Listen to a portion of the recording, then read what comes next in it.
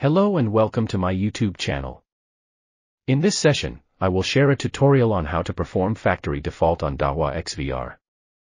To initiate the factory default process on the Dahua XVR, begin by right-clicking on the monitor screen and selecting the main menu option. Enter the password or pattern when prompted. Next, access the Maintain menu, navigate to the Manager menu and proceed to the Default menu. Click on the Factory Default option. Then click OK when prompted for confirmation. Next, enter the DVR password and confirm by clicking the OK button. At this point, the factory default process is nearly complete.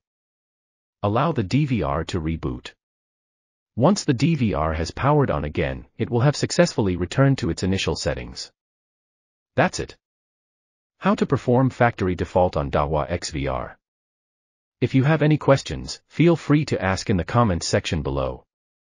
If you found this video helpful, don't forget to subscribe to my channel, give it a thumbs up, and share it with your friends on social media. Thank you for watching, and see you in the next video.